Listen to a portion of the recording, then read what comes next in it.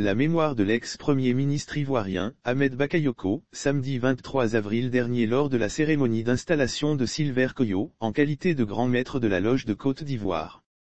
La loge de la franc-maçonnerie de Côte d'Ivoire a officiellement un nouveau maître. Il s'agit du franco-ivoirien, Silver Koyo.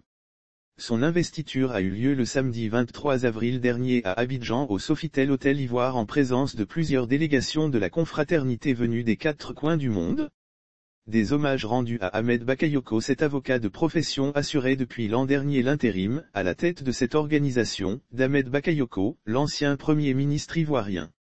Lors de la cérémonie d'investiture, de nombreux hommages ont été rendus à feu l'ancien grand maître de la loge de Côte d'Ivoire, décédé en mars 2021 des suites d'un cancer fulgurant, en présence de son épouse Yolande. Selon les informations de Jeune Afrique, un temple maçonnique a été inauguré il y a peu à Abidjan et porte désormais le nom de l'époux de Yolande Bakayoko.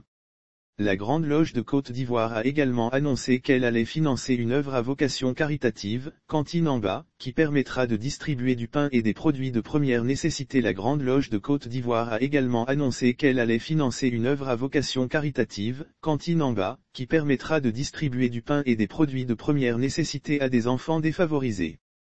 Lire aussi franc-maçonnerie en Côte d'Ivoire, les évêques catholiques lâchent une bombe ce soir, voici ce qui se prépare l'installation à la GLCI de Silver Coyo et de son député grand maître, numéro 2, Alain Richard Donwaï, ex-ministre des Eaux et Forêts, a été faite par Jean-Pierre Rollet, grand maître de la Grande Loge nationale française, GLNF.